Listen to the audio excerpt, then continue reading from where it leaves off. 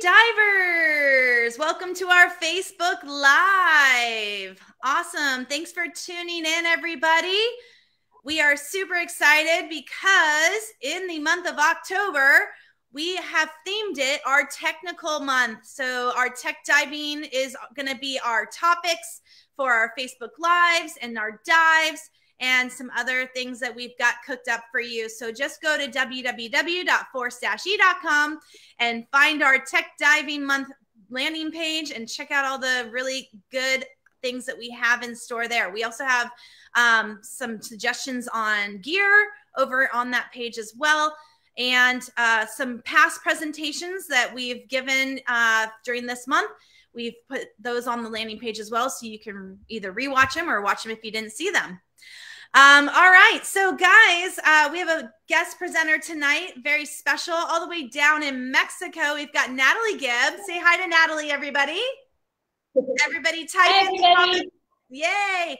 Everybody type in those comments. Go ahead and say hello to Natalie. Tell her where you're listening in from. If you're here in Florida, if you're outside of the Florida uh, area, or if you are in a totally different country, maybe you're listening in and we want to know. Guys, if you are new to Force-E, my name is Nicole. I'm your guest uh, host for tonight, or I'm not your host. Yeah, I'm your host. Yeah. Anyways, but uh, you don't know, um, we do a lot of presentations, Facebook Live. So you always want to make sure that you register because at the end of tonight's presentation, we are going to raffle off a $50 gift card to Force-E. Woo! Guys, person. Yeah, the reason why we want you to register is so that we can get you in on that raffle. We got to get your name so that we can put it in our random name picker. And uh, hopefully you will be our next winner tonight. So you have until 645 to register. I'll put that in the comment section if you have not registered yet. And you can do that really quick. Guys, if you're enjoying tonight's presentation, go ahead in the comment section, write us any questions that you might be having or give us our thumbs up, our smiley face, or the heart emoji. We just love knowing that you guys are with us during our Facebook Live presentation. So we've got some people writing in, Natalie. They're all saying hello. We've got people from the west coast of Florida. We hope you guys are okay over there. Yeah. Um, and if you are new to the area or you um, you don't know uh, about this, but we here in South Florida. Hi, Jeremy. here in South Florida, we don't have any cave diving, but in Northern Florida, we do have some cave diving, and we do have some of our Force-E instructors, dive masters, and staff members who love to go up there and do these types of dives. So if you are interested, come into one of our stores and we will get you connected with one of our staff members and they can tell you who to take classes with and who to dive with up in the Northern Florida area. And then Natalie's going to let you know who you can dive with um, in Mexico. So we'll let her give that in her presentation. awesome. All right, guys. So I'm going to go ahead and hand it over to Natalie. Uh, Natalie, I'm going to share your PowerPoint, okay? And you have the floor. Well, first of all, I want to say thank you so much for having me. It's um, so much fun for me to do these talks and reach out to people that I otherwise maybe wouldn't have an opportunity to meet. So um, I love it. Thank you so much. Um, my name is Natalie Gibb. I'm co-owner of a dive center named Under the Jungle, which is a cave diving center in Mexico near Tulum, which is a place I think probably most people have heard of already. Um, I'm a full-time cave diving instructor. I'm a cave explorer. I'm a member of the Women Divers Hall of Fame, and I am an underwater videographer and photographer. And so probably about all but two of the photos you're going to see tonight are mine. Um, and so here we go. I want to talk to you today a little bit about cave diving where I am. So if I say cave diving, what's the first word that comes to your mind? People often associate really scary words with cave diving, like darkness or claustrophobia or drowning or risks or getting stuck or danger, entrapment or just terror. All of these awful words. And when I was preparing this talk, I Googled cave diving, and the algorithm helpfully suggested the following two topics as related searches cave diving deaths and cave diving fatalities. Yeah, and accidents. So I'm sure that really helps my parents sleep at night. But if you erase all of these admittedly off putting and preconceived notions and talk to actual cave divers, you notice they often describe caves entirely differently. Caves can be really bright with light effects streaming in from the cenote openings.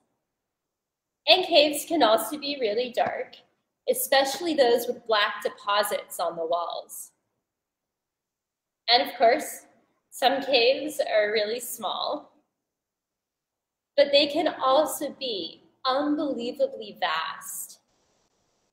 And if you talk to any of my former cave diving students who have become certified cave divers, most will describe cave diving as peaceful and sometimes exhilarating, but never scary or terrifying.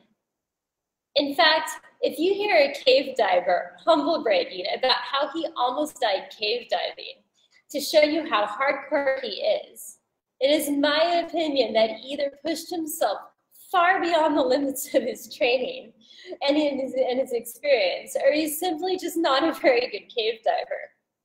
I'm a fairly accomplished cave explorer, and even when I'm exploring really extreme caves, I try to use good judgment and safe planning to avoid near death experiences. And I do not believe that cave diving needs to be an adrenaline sport. I am a full time cave diving instructor in the Riviera Maya, Mexico, which, as I mentioned, is near Tulum, and it is one of the world's cave diving hotspots. And although the area sees thousands of cave divers each year, we have relatively few cave diving fatalities at least of cave trained cave divers. And in each of these few cases, the divers broke established safety guidelines or dived well past their experience level.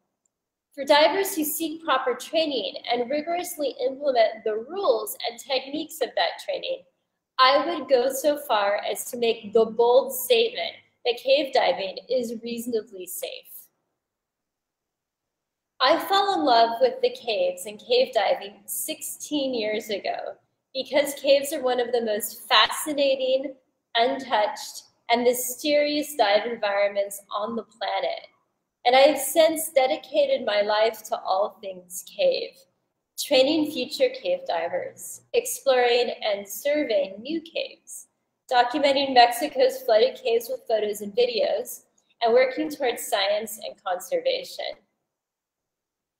I could talk your ears off for hours and hours about cave diving, but I have a limited time. So now that I have hopefully piqued your curiosity and maybe dispelled a few of the negative preconceptions about my favorite activity, I will try to touch a little bit on the various aspects of cave diving. I'm going to briefly cover why I find Mexico's caves so fascinating. I'll go over some of the safety rules that all cave divers follow to stay safe. I'll talk about the process of becoming a cave diver and how you can find an instructor that fits you. And I'll briefly touch on some of my explorations and scientific activities. All right, so part number one, why do I cave dive? The caves in Mexico are uniquely beautiful and varied. And one aspect that makes them so breathtakingly lovely are the speleothems, or cave formations that are present in our caves. Speleothems are as varied as the caves themselves. There are rooms filled with hundreds and hundreds of the most delicate formations that hang from the ceiling like icicles. And there's rooms with massive columns that take thousands of years to form. The way that these cave decorations grow is really interesting, and it tells us about the unique geological history of the caves in Mexico. These sort of formations can only form in air-filled passageways, like this one, When caves are not flooded, or when they at least have partial air spaces, rainwater from the surface dissolves limestone and moves through the porous sponge-like rock and drips from the ceiling. As carbon dioxide releases from the dripping water, the calcium carbonate from the limestone is deposited onto the ceiling in the formations, causing the formations to slowly grow. This means that any cave that has speleothems in it was once air-filled.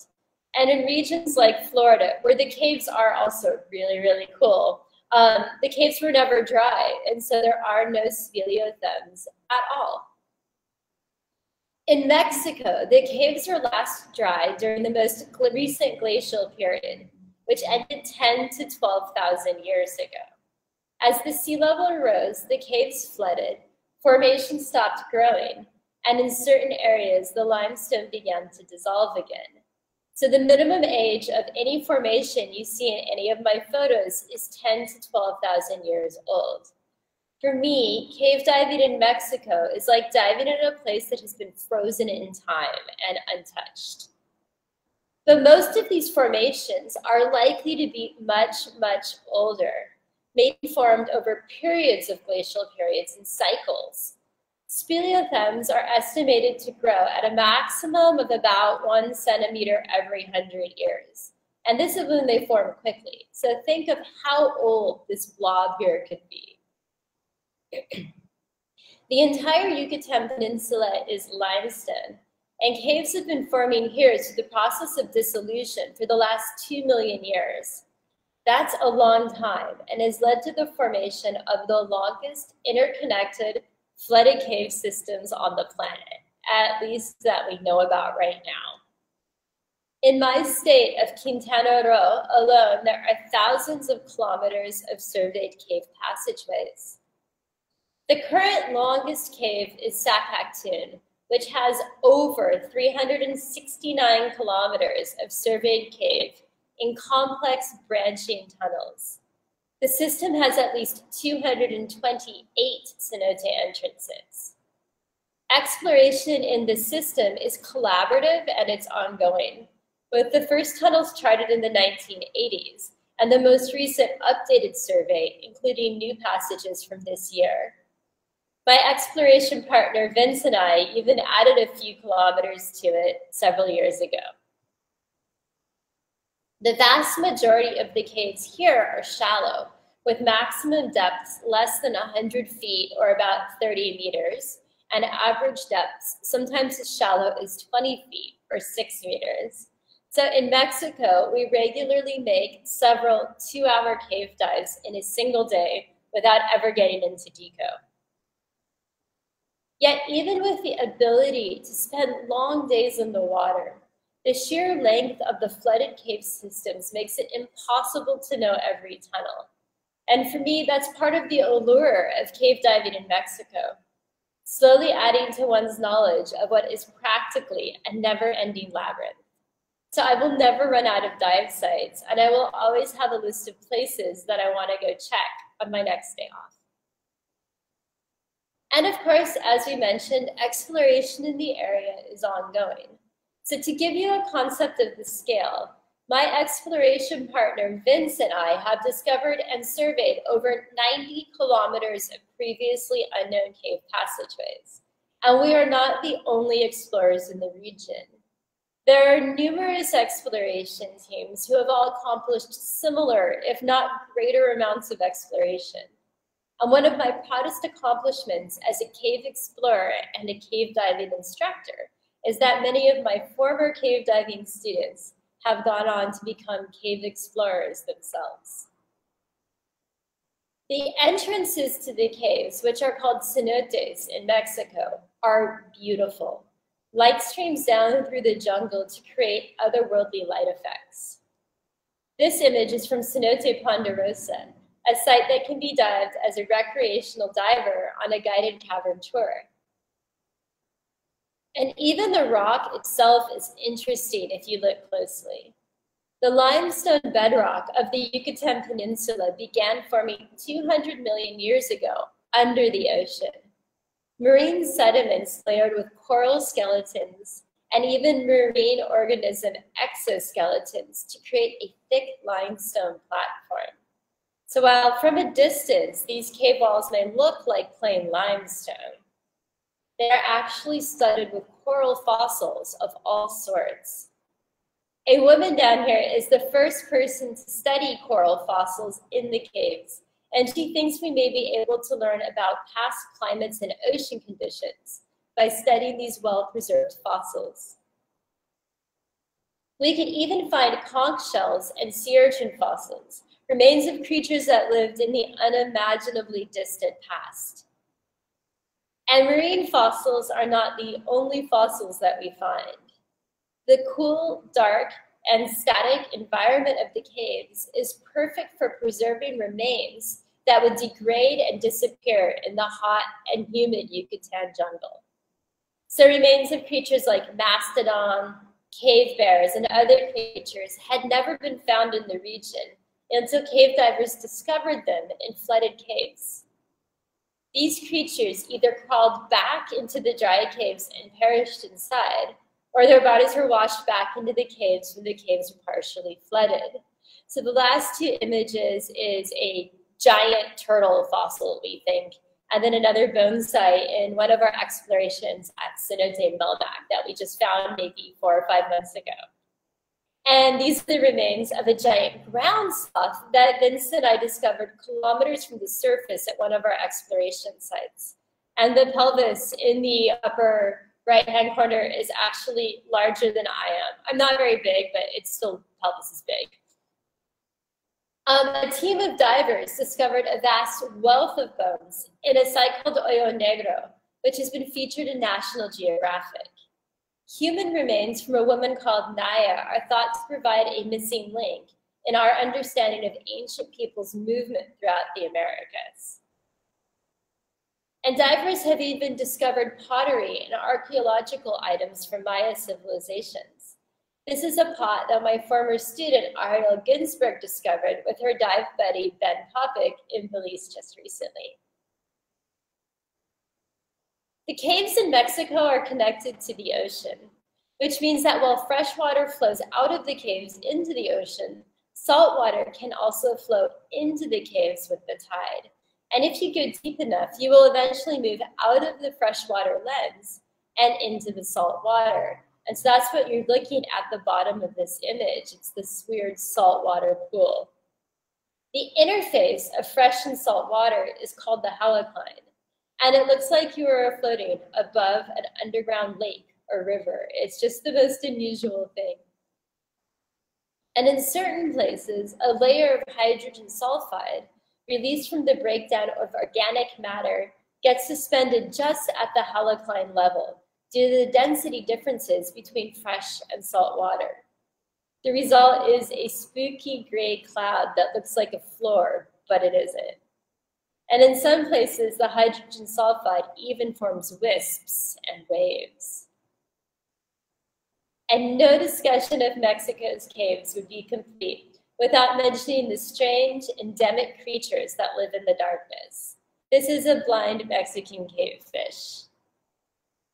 And this is a remipede, which is like an underwater millipede. It lives in the salt water. And there are huge amounts of tiny shrimp and other crustaceans that live in the caves. One of my favorites are isopods, tiny little cave roly-polies that behave just like they do on land. In caves that are really close to the ocean, you can even find sea life like these scallops and these weird sponges and sometimes anemones, or this is a mangrove upside down jellyfish, I believe. And there are sometimes sea stars and even brittle stars. So the caves in Mexico are so much more than just wet rock. They are vast labyrinths filled with geology and history and biology, clues to the mysteries of our past. To this day, they are largely unexplored, and they are shockingly gorgeous. And there's as many reasons to cave dive as there are cave divers. All right, part number two. How do we stay safe? What are some of our cave diving rules? So clearly, there are plenty of fascinating things to see in flooded caves. But just as clearly, it's important to be safe while doing so. So cave divers have five safety rules that we hold sacred, and no self-respecting cave diver would ever violate one of these rules. These rules are known as the five rules of accident analysis. And they come from examining why people used to die in caves back when cave diving was really, really dangerous, and then not doing that. um, every cave diving fatality that I've ever heard of involves a violation of at least one of these rules. So the first rule is to seek proper training. The number one demographic of people who die in caves is certified open water scuba divers or above that do not have specific cave diver training.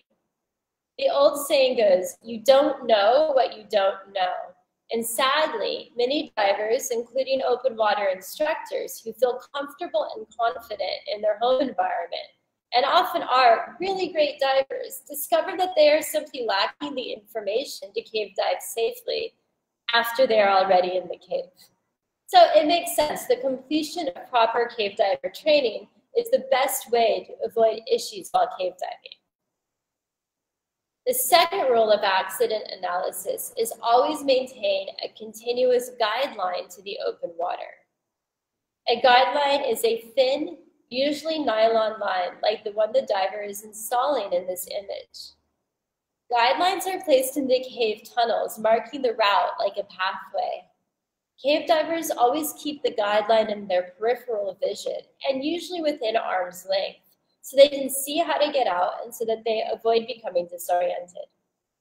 In the likely event that divers lose visibility, they can grab the guideline and follow it out of the cave by touch. And divers train for zero visibility exits like this in all levels of overhead training. So the guideline rule is one of the most important rules that we have to stay safe. Many caves in Mexico have permanent guidelines installed to make our lives easy. And when Vince and I are exploring new caves, we place our own permanent guideline in the cave and leave it there for future dives and future divers. Another equally important safety rule is known as the gas management rule of thirds. So simply put, cave divers can use a maximum of one third of their total breathing gas to go into the cave, one third to get out, and one third is held as a reserve.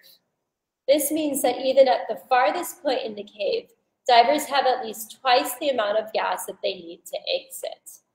This keeps them safe in the event of a delay and gives them plenty of gas to share air with a buddy if they need to.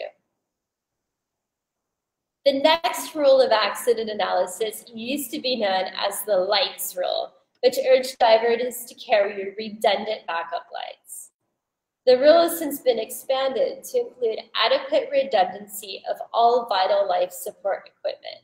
And if you look at us cave divers in these images, you'll see we look like little balls of gear. We have a minimum of two tanks, two regulators, two backup lights, two masks, etc.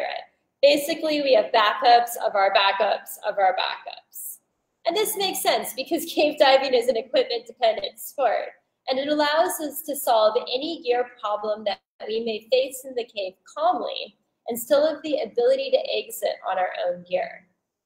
On top of this, we also have buddies with us that have additional redundant gear and we test each and every piece of equipment in the water immediately before the dive to make sure that it's all present and working. And of course, we don't dive with unsafe gear. Depth is the final common thread in accident analysis. It might be easy to say, don't dive deep in caves. But while I would say that deep diving increases the risks, I think it can still be safe to dive deep. The key for me is the availability of sophisticated breathing gases such as Trimix, which allow divers to reduce narcosis and decompression obligations on deeper dives.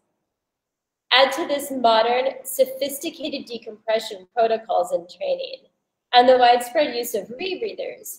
And I would say that with proper training and progressive experience, deep diving in caves can be done safely. So seek proper training, maintain a continuous guideline to the open water, follow the gas management rule of thirds, have redundant gear, and use the proper gases and equipment for deep cave diving, and that's it.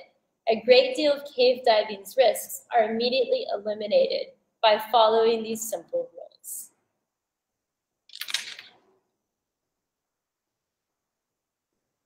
All right, so how can you learn to experience Mexico's flooded caves or the flooded caves in Florida? There's many options and many training organizations and a great number of cave diving shops. So I can't go into all of the options, but I will discuss how we organize our cave training at Under the Jungle, which is my cave diving center, and a little bit about our instructional philosophies and how to evaluate a potential cave instructor or center. My dive center advocates progressive training, meaning that the path to becoming a cave diver is divided into distinct steps, and we suggest gaining experience at each certification level before moving forward. And you can probably already see that cave training is a commitment in time and energy. There's a huge amount to learn in order to become a proficient cave diver, and the training should not be rushed. The first step on my little flowchart is a guided cavern tour. And you'll notice that this is not training at all. A guided cavern tour is exactly what it sounds like. It's a guided tour of the cenotes in the cavern zone. To go on a cavern tour, you don't need any special certification or equipment. We happily take experienced open water divers in single tanks into the cavern in accordance with local protocols and TDI standards. Guided cavern diving is a great way to get a little experience in the cenote environment and to test it out and see if you like it. It's also a great way to get to know a dive shop and the dive shop's philosophies and the instructor's personalities before you commit a great deal of time, energy, and money to cave training. At my shop, cavern tours are treated very seriously. We teach divers a little bit about the cavern environment and a little bit about basic diving techniques for that environment so potential students get a feeling for what cave diving is like. All of our tours are private, with divers or buddy teams diving with their own private instructor. And all of our guides are actual cavern or cave diving instructors who are qualified to teach you to dive in the environment. And this is well above local standards for guides and tours, which often combine groups of up to four people who don't know each other with a guide who is simply a certified cave diver as opposed to an instructor. Guided cavern tours are also an excellent way to enjoy the cenotes without ever having to do cave training if you don't want to. So you can just go in and do some guided cavern tours and get to see all of this, and it's incredible. If you do decide that you want to be a cave diver, the next step is to learn to use doubles properly. Students can choose to do training in either back mount or side mount. And it's important to note that our shop is philosophically opposed to overhead training in single tanks and will only train divers in doubles, even though many training organizations will allow cavern training in single tanks. During doubles training, students are introduced to all the cave level base skills that they need to succeed at subsequent levels of training, such as advanced buoyancy and trim control, and advanced propulsion techniques, including the frog kick, flat turns, and the reverse kick. Interestingly, this is probably the most difficult course that we teach. Students additionally learn emergency management skills, such as long hose air sharing and valve shutdowns, as well as a host of other skills and techniques to manage issues related to their equipment configuration. Even some of our caverns are so extremely fragile that it's essential that students learn these skills before ever entering the overhead. As well, from an instruction standpoint, it's nearly impossible to teach someone to run a line properly or navigate an exit in zero visibility if they're still struggling with buoyancy or the reverse kick. It's simply too much information and overloading students with too much to learn at once just sets them up for mediocre skills or failure, and we're not into either of those things. For divers who already have experience in doubles, it's possible to test out of this part of the course. However, due to the delicate and demanding environment and the shallow nature of the dives, which makes buoyancy way more difficult, and the complex nature of the skills, most students do need a few days of warm-up before beginning the next step. For divers without doubles experience, this course usually takes a minimum of three days in back mount and an absolute minimum of four days in side mount. The next step in this rubric is cavern training. The Cavern Diver course qualifies divers to dive with a similarly certified buddy in what we call the cavern zone. The cavern zone can most easily be thought of as the entrance to the cave, where there are big open spaces and visible daylight. Divers cannot penetrate more than 200 linear feet or about 60 meters from the open water. But don't doubt it, this is still serious overhead diving. The learning curve for this course is really steep. There's so much to learn in cavern diver training. This is the course where divers learn all of the overhead essentials, from line work to navigation to referencing and emergency skills and zero visibility procedures. This course introduces a huge amount of information, but we wouldn't have it any other way, and there's really nothing that we can leave out. So cavern training with our shop takes a minimum of five very intense days. The next step after cavern is intro to cave. The introductory cave diver course is a student's first step out of the reaches of natural daylight Students are limited to penetration using one-sixth of double tanks and still need to stay in large open spaces.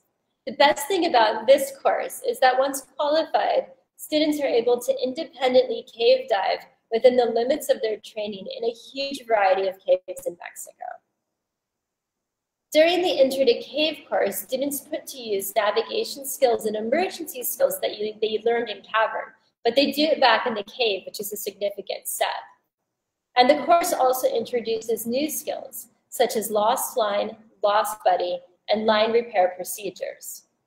If properly taught, this course is actually easier than Cavern because the students have already gone through the steep learning curve to become overhead divers. There's still a lot of new information, however, so this course takes a minimum of three days with my shop. This is actually a place you can visit as an intro to cave diver. And of course, the final step is full cave diver. Full cave is the course that teaches students to navigate through restrictions or tight places, to perform complex navigation and venture down secondary cave passageways, and to dive to a full one third of their tanks. With the depths typically dived in Mexico, Full cave divers can easily get two hour dives on a single set of doubles, and there are literally thousands of caves to be dived at this level. Full cave with my shop, of course, still introduces a huge amount of new information, but students typically find it easier than the previous levels if they're properly prepared. And the course takes a minimum of five days. So this is a full cave diver exiting a restriction. After completing full cave, it's best to get some experience in before taking more courses. At that point, there's a host of specialty classes and workshops that students can take depending upon their interests. So hopefully, cave diving is starting to sound a little less crazy than it did at the start of the talk. I've gone through a detailed explanation of the different training levels to show you that there is a solid, organized system in place for cave training and that no reputable cave diving instructor will just slap you in doubles and take you into tight caves within a few days. Cave training is progressive, and it's done within the student's comfort and skill level. And with my shop, it takes about 14 non-consecutive days to complete properly. So if this still sounds like something you may want to do someday, the next step is to choose your instructor and shop. I'm not going to tell you that you should definitely do training with my center because we might be a good fit for you or we might not. So these are simply some, considerations that I think are important. The most important decision you can make is your choice of instructor and dive center. Their attitude, personality and interests should mesh well with yours, which is one of the reasons that I advocate guided cavern tours to meet potential instructors. The choice of instructor is so important that I would prioritize this over organization or location. You should also choose full-time cave instructors, in my opinion.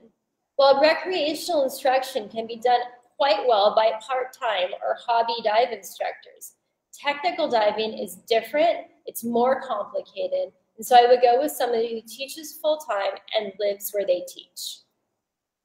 And if there's something you particularly want to do with cave diving, ask if the instructor has helped anyone to achieve that goal. Prioritize instructors who encourage divers to dive independently at their certification level with similarly trained buddies. Ask if certification is guaranteed. Any instructor or center that promises to certify you or promises to certify you within a specific time frame does not have your best interests at heart. Flooded caves are one of the most dangerous places on the planet, and not everyone is cut out to be a cave diver or can complete the training in a specific amount of time.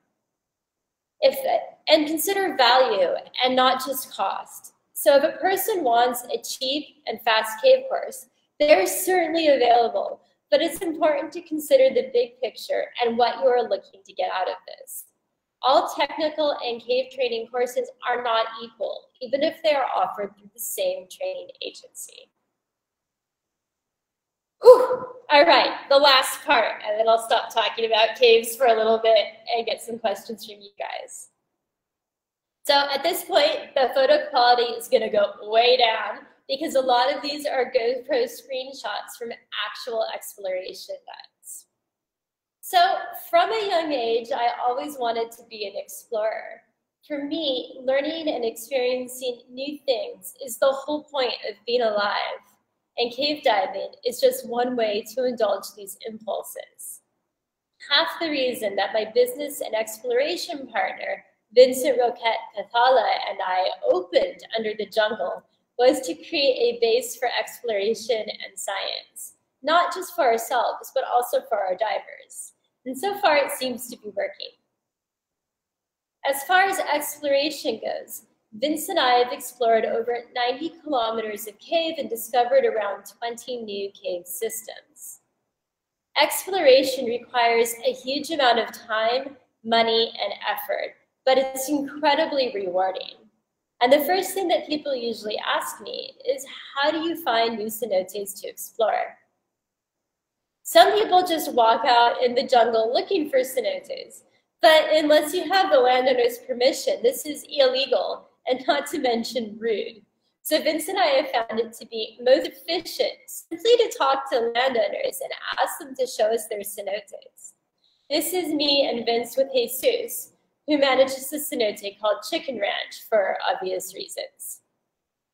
And this is our team with the owner of our very first exploration project. The owner is Antonio Manrique, and the, the project was called Tatich.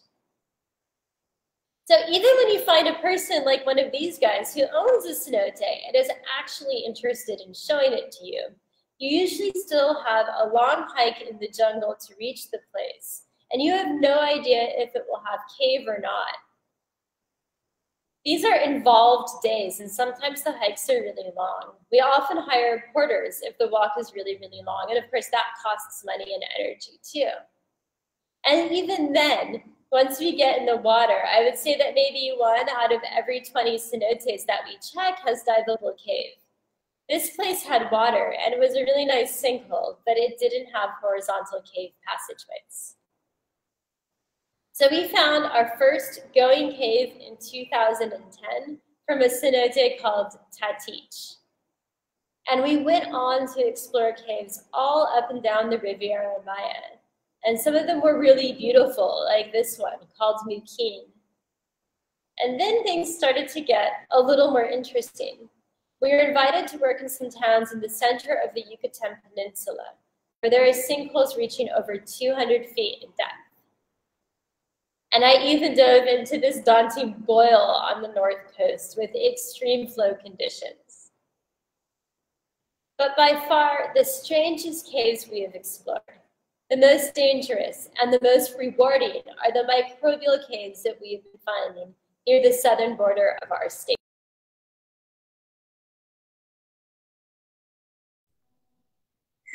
Oh no, guys, it looks like Natalie's internet cut off. Uh, give us one second for her to come back on. I'm not sure what that what happened. Uh, while we're waiting for Natalie, let me just show you guys. Um, if you are interested in any of our events for Tech Month, uh, go to www.force-e.com, go to the events tab, and here is all the events that we have going on, but then also go tech, learn more, press that button, and here's that tech dive page that I was talking about. It has awesome videos, presentations that we've done in the past, um, learn about our tech courses and our tech charters that are available, and some of the really awesome uh, technical gear that we have at the dive centers. Um, so check out this page if you're interested in more to learn about tech diving.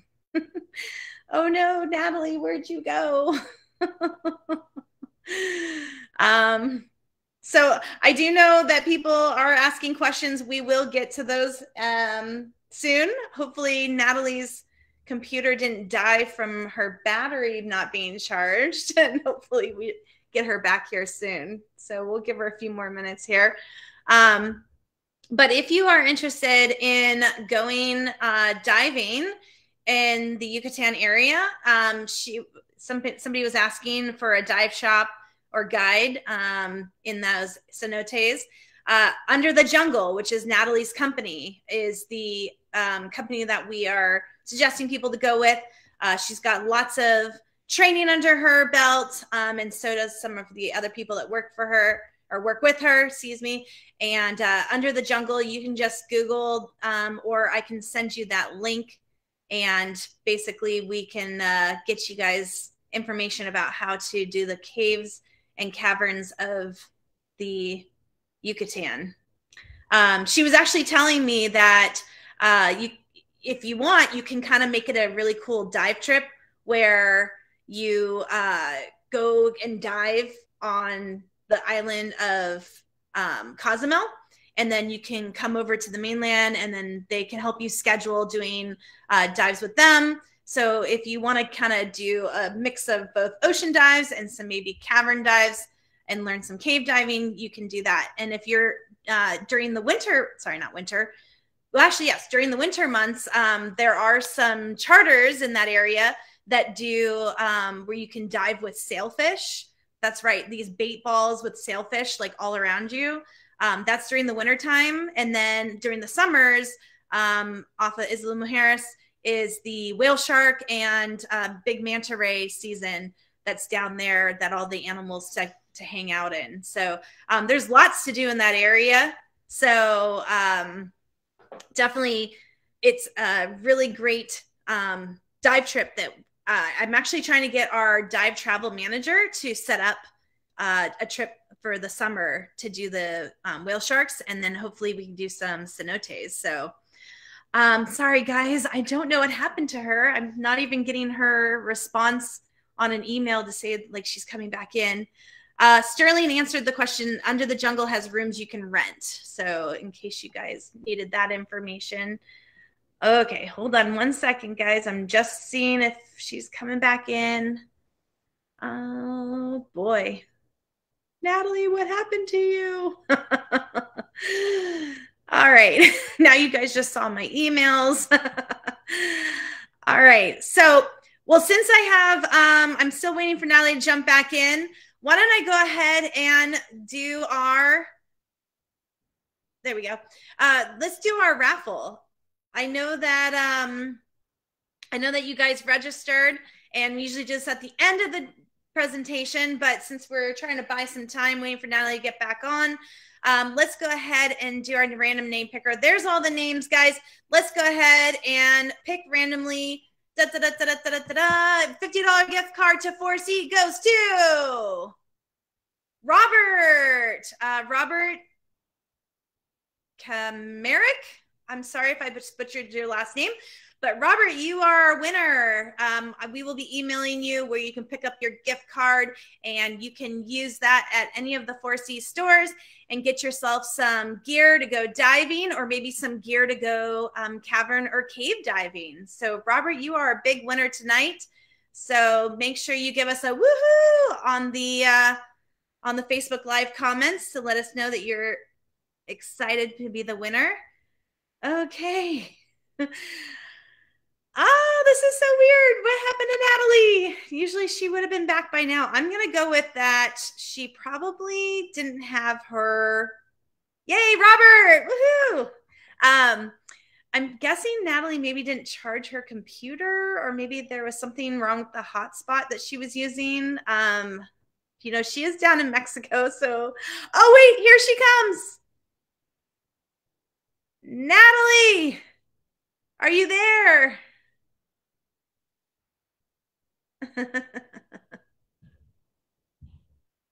Hold on. She's trying to come in. It's like um I feel like when I say she's trying to come into the room, it's like I'm a medium and the spirit's coming into the room, but no, she's a real person. I promise. And if you guys are enjoying this presentation, thank you. Give us that thumbs up, that smiley face, and that heart emoji to let us know that you are enjoying.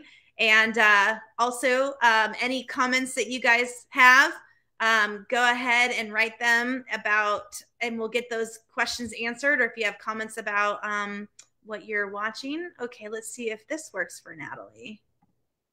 Let's see. Where is she? Oh boy. Natalie, are you there?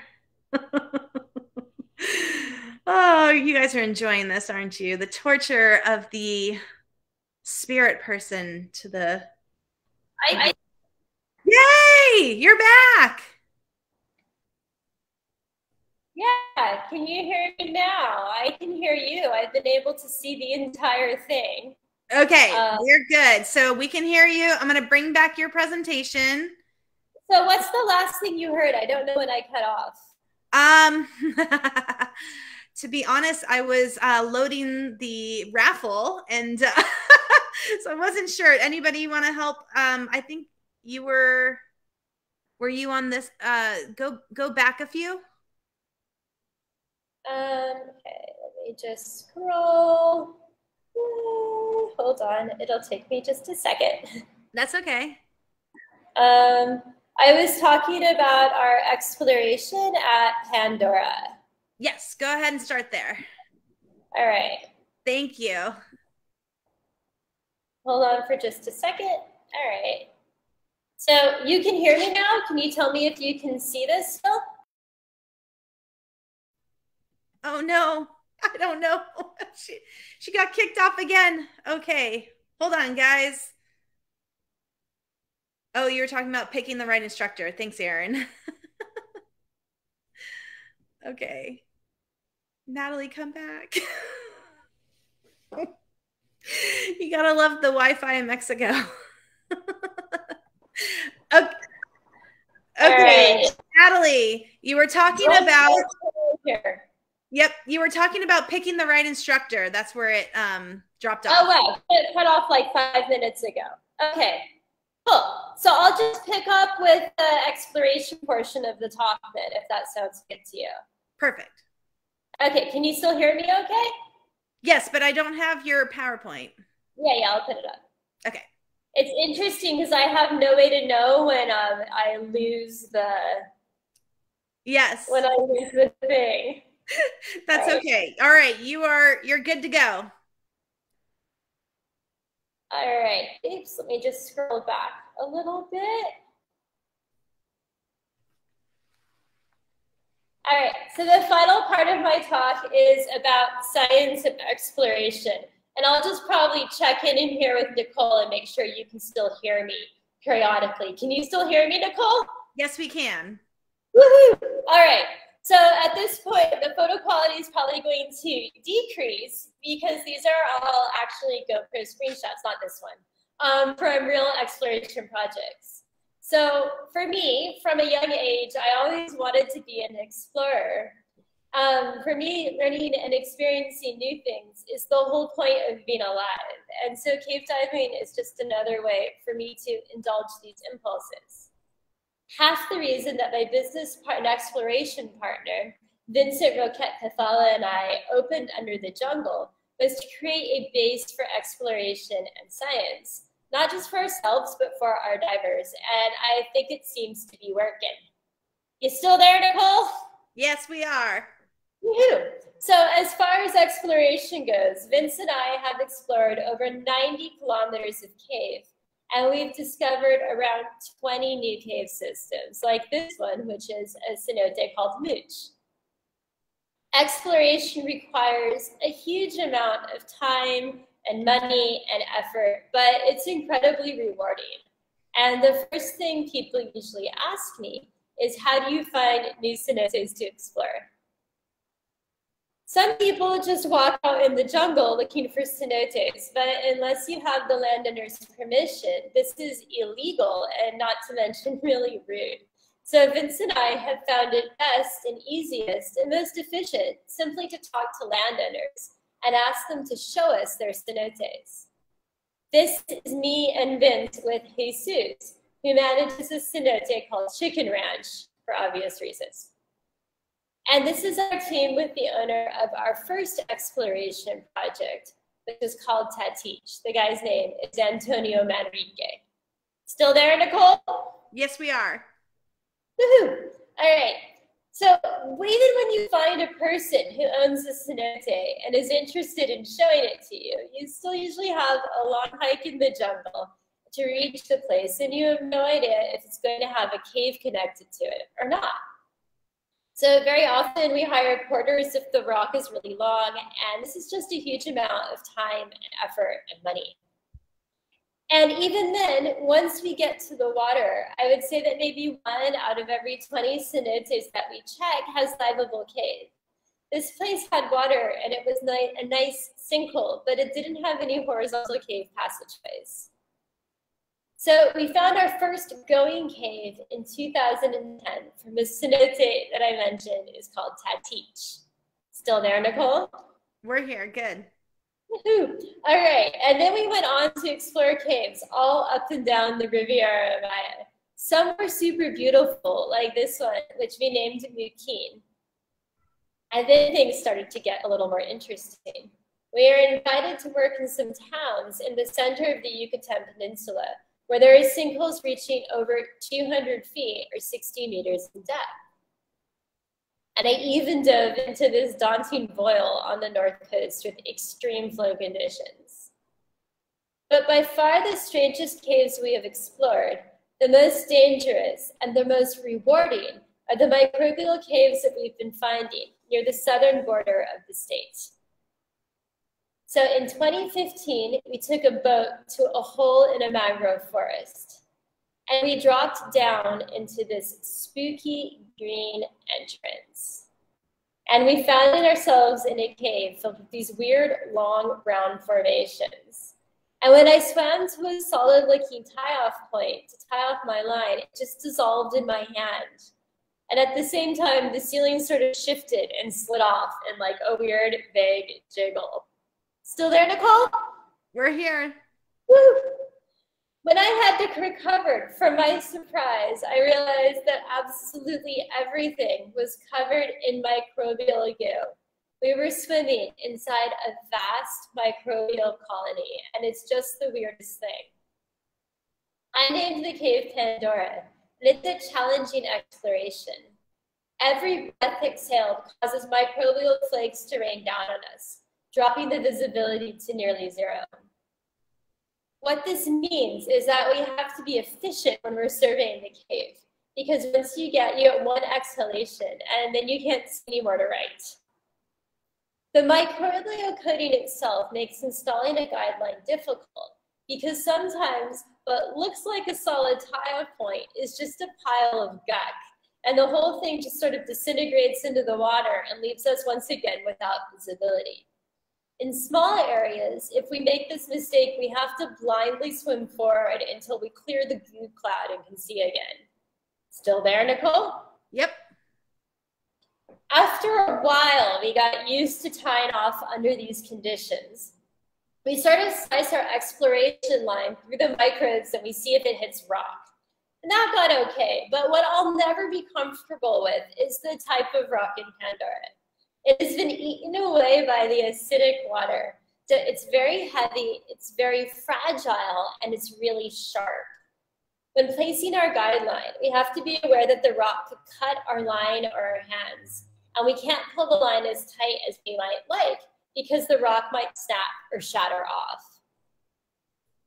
The large crystal formations are so fragile that Vince saw a meters long stalactite shatter off from just my bubbles, hitting it as I scooted underneath it.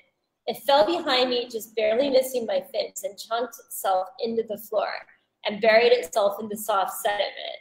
So we have discovered that for these reasons, in Pandora, it's best to keep moving forward. Finally, there is a great deal of hydrogen sulfide in the water. And you can see the difference in the clarity of the water between this editing screenshot and this one. Still there, Nicole? Yep. Our dives are averaging about five or six hours in Pandora, and so we're exposed to hydrogen sulfide for quite some while, which is problematic as it becomes toxic with long exposures. And every time we dive in Pandora, we disturb, disturb the microbes and release more hydrogen sulfide into the water. So the concentration increases over the course of an expedition. By the third day in a row, we're usually getting headaches and we reek of sulfur and we need to take a day off. So we soon reached kilometers long penetrations from Pandora. The start of the cave is where the orange star is, and the furthest tunnels where the yellow circles are. At this point, the system was around nine kilometers total. And so we started looking for another entrance into the system. And we gained access to deserted pump station with a cenote underneath that we named Melmac. After a few days of work in Melmac, it looked like the caves might be connected, but there were still a few kilometers between them. The tunnels had similar features though, so we thought this could actually be part of one really huge cave system. Still there, Nicole? We're here. All right, so in late 2018, we connected the two systems into one large cave that is now over 16 kilometers long. And this to us suggested the presence of significant cave development in the region. So over the last few years, we have continued to work in the area and we found more caves. These are photos of the microbial growth in Dagoba, which is a cave about 60 kilometers to the north. There are some similarities like the goo, and these are some sort of micro microbial growth that we've named fuzzies. But the deep saltwater tunnels in Dagoba are filled with crystalline and gray formations and weird gray clay on the floor. We also dove in a lagoon, which was really horrible. This place was called Vulcan, and it was just basically a silty green hole. And we found a cenote that we named Antares a bit to the north of Dagoba. Checking in with Nicole, still there? Yeah. So uh, Antares was also filled with hydrogen sulfide and with goo and with sharp spiky formations. And about two or three years ago, we dived in a lagoon and we found two more caves. This is the entrance to one of them, which we named Juno. The caves here are difficult and they have reversing flow conditions. And we even found a wheelbarrow 500 feet back in Juno, which had been sucked in by the flow. And this is Ursus, which is the cenote on the other side of the lagoon. It has similar reversing flow conditions that make it undiveable most of the year. And this is taken on a clear day. And finally, a little over a year ago, we found another cave west of Pandora with the most messed up and restricted wet entrance that I have ever seen. and this one we named Medusa. Checking in, Nicole, still there? You're there. All right, so the discovery of Medusa is the single proudest moment of my cave career because I found the cave based on a hypothesis that I came up with about cave distribution in the area. And it was so challenging that there was no way, even a year before, that I would have had the experience with microbial caves needed to make the discovery. It just happened at the right time. And in this area, we've checked hundreds of possibilities. We found really few caves, but when we found this one, we knew we were finally onto something. So together, these eight caves that we have worked in over the last eight years point to the existence of a huge and unexplored cave system in an area stretching over 150 kilometers. And I think that this will be our legacy as explorers, the discovery of a massive, dirty, disgusting, and hostile cave system where no one knew there was one before. Still there, Nicole? Yep. Okay. So the final sort of little subtopic here is science. Um, as a trained chemist, I have always been interested in the science of Mexico's flooded caves. And our shops involve all sorts of things, but I'll focus on one of the main opportunities for our former students. This is Dr. Patricia Beddows, a renowned hydrogeologist from Northwestern University, and she's been studying caves here in the area for more than 20 years. I've been helping her install data loggers that she invented in the local caves for the last few years. And together we have worked to create Under the Jungle's annual Science Week, which is a nonprofit week where we pair our former students with Dr. Beddows and other local scientists to assist in doing real cave science. This is one of my former students preparing to take water samples. In 2020, we couldn't do this with her here because she couldn't travel to her, due to her university position, but we still managed to make the annual Science Week work. And in general, we have a nice group of former students involved. We learned to survey key sites and assemble the data loggers and install them in the caves. And for me, being able to offer these opportunities and these sorts of experiences to my former students and give back to the community is one of the most rewarding aspects of my work. I have a long bunch of videos and mini documentaries on my website about the cave science and the science weeks that we do. So as I come to the end of my talk, I hope that I've shown you that cave diving in Mexico is more than just a bunch of crazy, risk-seeking adrenaline junkies swimming around in the dark.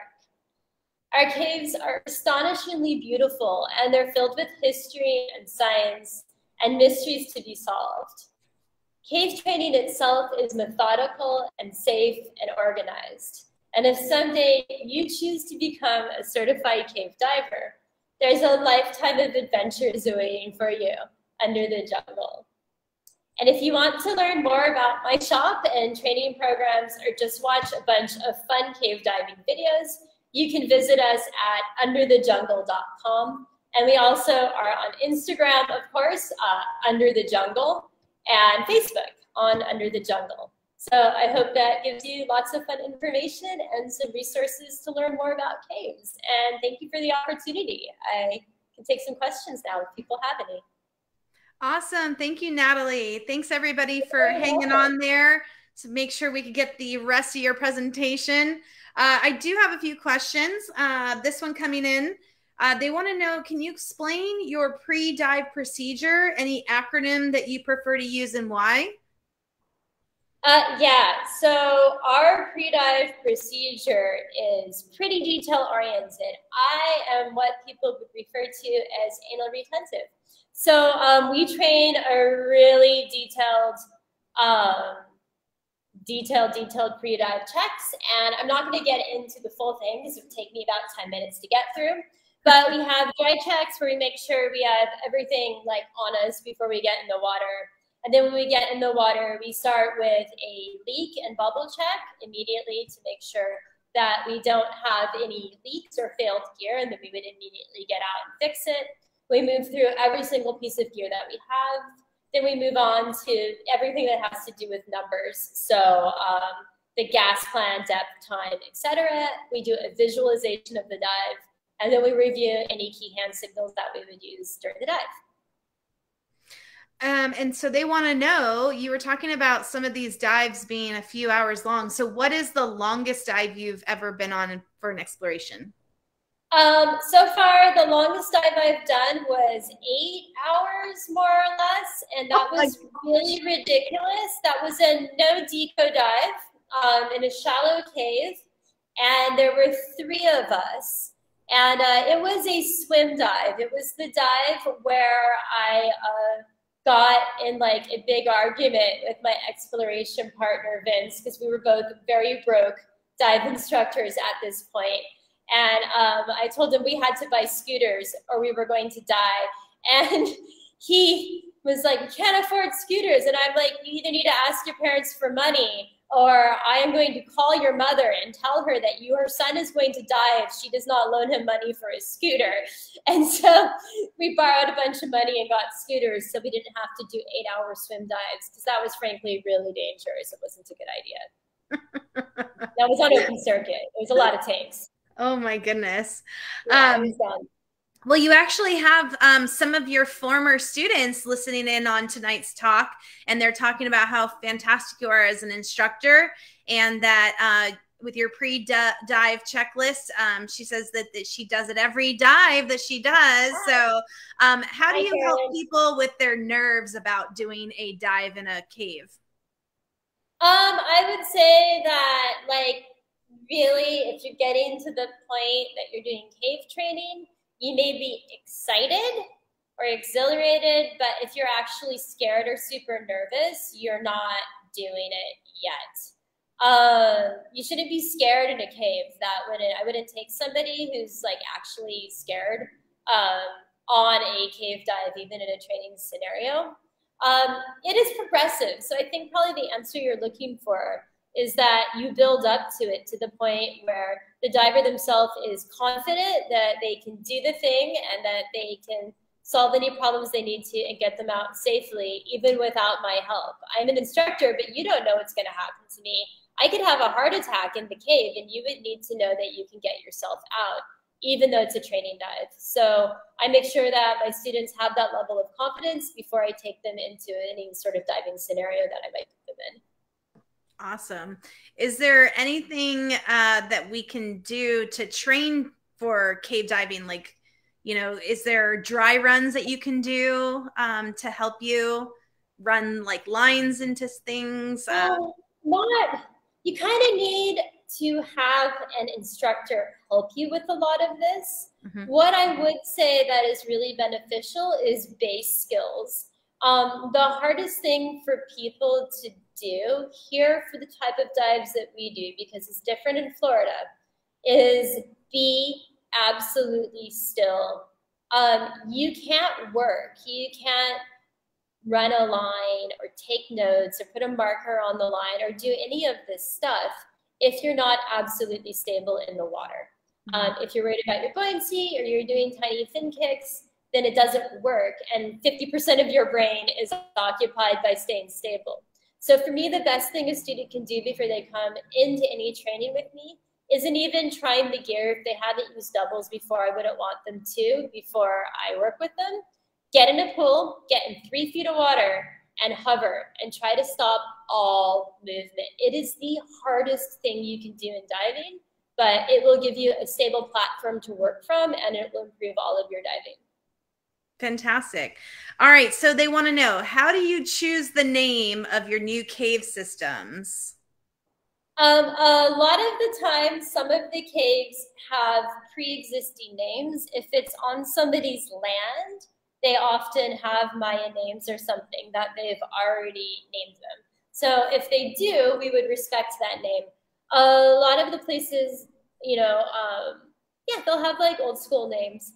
Um, but some of these places, the southern microbial caves, they're not on anybody's land. These are you hit off a boat or things like that.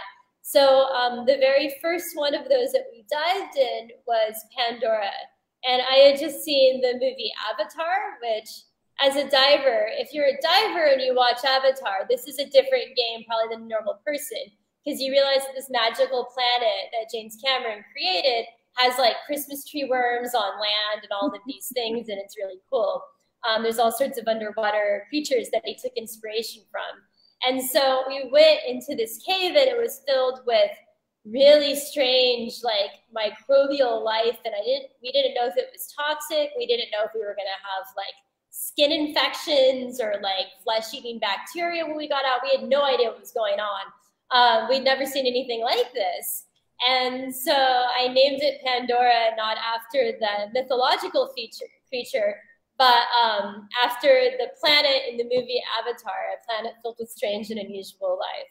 And so all the southern caves started to get um, like planet names. So Dagobah is the home planet of Yoda, and Melmac is the home planet of Alf, and Juno is like a like system. Um, Antares is, I believe, it's a constellation. Vince named that one, and so on and so forth. We have Ursus uh, and places like this. So we're naming that. And then Medusa, I know it isn't a planet, but it was this crazy wild cave. And so I named that one Medusa go with the Pandora thing. Well, I just want to uh, remind people during this presentation, all those beautiful cave photos, those are all Natalie's and some of her colleagues, right? Those are uh, there's like two photos in there that aren't mine, yeah. And so uh, those are all fantastic, beautiful photography. Um, any chance you're going to make a, a, coffee table book for uh, us cave explorers? I wouldn't say I'm ready to make a book. It's um, on the list of things I'd like to do one day. I still feel like I'm learning photography, believe it or not. But I have been doing limited runs of prints. So um, I did a limited run of prints about four months ago, um, and most of them sold out. So I'll do a limited run of new prints and new new images. Sometime I imagine in the upcoming couple months, I'll announce it on my Facebook for Under the Jungle, on my personal Facebook, and I'll also announce it on Instagram. And then I just keep doing it until they're sold out, and then I stop for a while. I have a really cool photo printer here to actually print them all myself and ship them from Mexico. So you oh, get oh, wow. like a signed limited edition print. Yeah. Yeah, that's awesome. Okay, well, while you were um, not on the camera, I actually filled the spot with the raffle. So when so somebody already ran, you know, got their fifty dollar gift card, and they were excited. Oh, so cool! well, who was it? Um, it was Robert. Um, I can't pronounce his last name. I'm so sorry, but it's like uh, you're gonna kill me. Kakameric, Kak, Kaz, Kazameric. Uh, sorry, sorry, Robert. Anyways, um, if you guys congratulations, have... Robert, with the difficult to pronounce for Gringa's last name. um, so, guys, if you have more questions for Natalie, uh, you know how to get a hold of her. Just go to Facebook or Instagram. Go to Under the Jungle. Um, that's the handle. And make sure you can uh, keep in touch with her. And if you'd like to do some cave um, exploration, get some training, you can go to her as well. And uh, if you want to get any of those photos when they get released, make sure you're following her um, her Instagram and her Facebook so that you know what's happening with Natalie. Thank you so much for this presentation. I'm sorry about the uh, the slight delay, but we got through it. And Natalie, fantastic photos, great information. I think we all want to go cave diving now. So, uh, guys, yeah, let's grab our gear. Yeah, let's grab our gear and go diving. See you, everybody. Thanks for watching.